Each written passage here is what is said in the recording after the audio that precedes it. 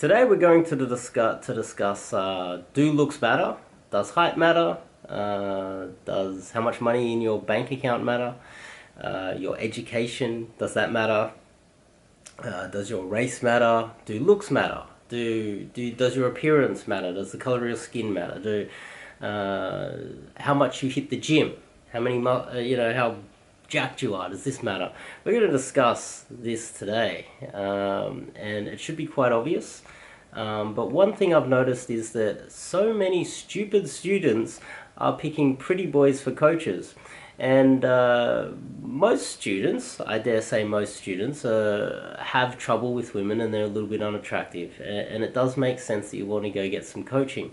But if you pick a pretty boy that you want to be, uh, and that's one thing I've noticed is a lot of guys that will pick uh, some sort of pretty boy that's a, a coach um, because they want to be that person how are you supposed to learn from someone who doesn't understand or is unable to empathize what it's like to be you and a little bit less attractive? Uh, and if they don't have the personal experience of being less attractive, how would they have the personal experience of having to overcome their lack of attractive, uh, attractiveness to try and get equally or even decent girls? Uh, they just wouldn't have the experience and therefore they would not be able to come up with ways for you to come over uh, to overcome uh, this adversity. Uh, which is quite obvious to me, so uh, it's time to red pill you guys on something that should be obvious to anyone with an IQ of 10.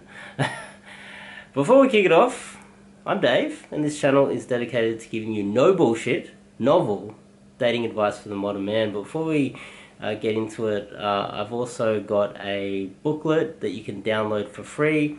It is How to Build Courage in the Face of Adversity, which is quite relevant to this topic. So, do looks matter? Yes, looks are one of the most important things out there. Wakey wakey, your height matters. Uh, your race matters, your cultural background matters, your socio-economic status matters. The country that you come from matters you come from a third world country and you move to New York and you try to pick up one of the Kardashians, it's probably not going to go too well for you unless you have some serious, damn serious game. Uh, your uh, education matters. Uh, how much you hit the gym, whether you're jacked or not, matters. Your fashion matters. Everything matters. it's really, really important. Um, and I just thought that I'll bring this up and tell you guys how I try to overcome this adversity because one thing I have, which is a huge advantage over all other coaches out there, is that most coaches, uh, they get to my age because they've been pretty boys in their early 20s, they get to about 30 and then they start dying down or they just, uh, if they have a big enough audience are able to continue coaching, but very rarely you see guys my age still approaching. They quit, they give up, it's too hard. And the reason why they quit and it's too hard at my age is because their game is shit and their strategies suck. And because they're not able to keep up with people like me that analyze everything in detail and come up with ways to overcome them. Now, uh, myself, I'm I dye my hair. I'm going on 40, and, and yes, I am. Uh, yes, I, I am aware that moving into this uh, industry is going to be tough for me. But to me, it's kind of obvious why I should be at 40 moving into this industry and coaching people because I know what it's like to be that 21 year old guy that, that could bench over 100 kilos. I uh, played number 10, playing rugby for a very long time, about eight years uh, toured New Zealand. I faced the haka. Uh, I was quite an attractive when I was quite attractive and quite jacked when I was younger. I used to surf and uh, did a bit of big wave surfing as well, and uh, and uh, therefore it was quite quite easy, uh, especially in the nightclubs, to meet women. Now, as I gradually got older, and I'm almost 40 now, it is gradually becoming more and more difficult. Um, and I'm still gaming in a first world country competing with the same 21 year old guys. So, guys when I was 21, I was competing with other 21 year olds. Every year I get older, there's a new little shit coming in uh, that's really good looking and pretty with zero game and just takes all the attention of all the girls. And so my game needs to step up. I need to come up with new strategies all the way to overcome that. Now, I was looking at this, at my hair, and the last uh, week and a half I decided not to dye my hair and to test out how important uh, looks are. How important age is as well, because that's definitely relevant. And I, I'm about to dye my hair again, by the way. But the last uh, two weeks, I didn't dye it. And if you look closely, this is all grey. You can see it. It's all grey. Um, I don't know if you can see it too well on the camera, but this is all grey. The top has been dyed. If I didn't dye my hair, it'd all be grey. I'd look like a grandpa. Um, I need to also dye my eyebrows as well because they're white and grey. Um, uh, but what I've done over the last uh, week and a half, I ran a boot camp and was out there doing a lot of approaches, and I noticed that uh, a lot of girls, I would be looking them straight in the eye, and their eyes, when they're looking at, I'm looking straight at them, their eyes would do this, and they were looking at this. They were looking at the grey. Uh, and uh, my results over the last uh, two weeks, uh, two and a half weeks now, have been not very good. Uh, I've done quite a few approaches. Uh, I've got quite a few good reactions and got a few numbers. I've pulled a few girls, and I only had got one new lay over the last two and a half weeks.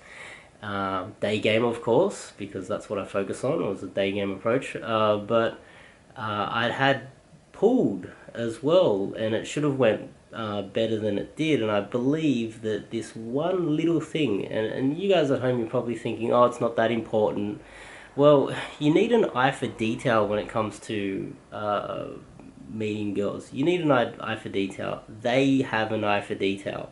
So uh, if you're wearing a, a nice jacket, you, are looking quite good, and then downstairs they look at your shoes and you have some dirty Adidas sneakers on or something like that, girls are going to notice, and they're going to notice that this does not fit. Uh, and there's something not right about you. If you don't have some nice leather shoes on, it's just not going to sit well with them, and that might be enough for you to be discounted uh, same as if they come into your bedroom and um, your bedroom is a mess. You need an eye for detail and everything. And this grey, even the girl that the girl, the girl uh, that I pulled, she was, it was, it was hard to have a conversation with her because I was talking straight to her and she kept looking up here. I miraculously was able to uh, get her home and make it happen, but um, this small little thing, which you might think is irrelevant, is relevant. And uh, when you think about how to improve your game, you need to focus on the little 1% gains you can, you can make. Uh, small little incremental increases in your game will make a huge difference. Uh, so for instance, you work six days a week, you work 10 hour days. Uh, if you if you have to wait till Sunday and then you pump out five approaches on the weekend. Uh, that's five approaches per week um, over the course of a year. You know, uh, when you when you look at it, what is it? It's like 250 approaches, something like that. But what if you uh, were able to just do one extra approach per day before work, in your lunch break, or after work? Just one measly little approach. Just one little approach that would increase over the course of a year how many approaches that you you did 20% or more just even if you did it one day but if you did it five days literally double it it would increase your approaches 100% um, think about the small little incremental increases that you can make uh, another thing another thing I'd like to mention when it comes to incremental increases uh, it's just little one percenters. Uh, Novak Djokovic, one of the best tennis players in the world. Um, when he was a no-name tennis player, uh, it was about 49% uh, his uh, decision making. Uh, when he was in a in a rally, uh, he was getting forty nine percent of his decisions correct, uh, and um, he was a nobody at that stage. When he increased his decision making to fifty one percent, then he started making five million dollars a year. Uh, then he increased his decision making to say 55%. These are only small 1, 2, 3% increases in making the correct decision during a rally. That's not including uh, his serve percentage, not, that's not uh, his uh, return percentage, that's not taking all the other things into account, but just making small little increases, 1% differences was the difference between him being a no-name tennis player and being number one in the world. And I want you guys to start thinking about how you can make those small incremental um, increases in your game. And that's the same way I do mine. And I think this, this grey, what I'll do is I'll get back to you guys. I'm going to dye this uh, either tomorrow or, or first thing tomorrow morning. Uh, and then I will take note of the approaches that I make uh, for the next two weeks, and I'll get back to you in the next two and a half weeks because, um, and then find out uh, whether this has made a huge difference. And I believe it will make a big difference, and that's why I do dye my hair.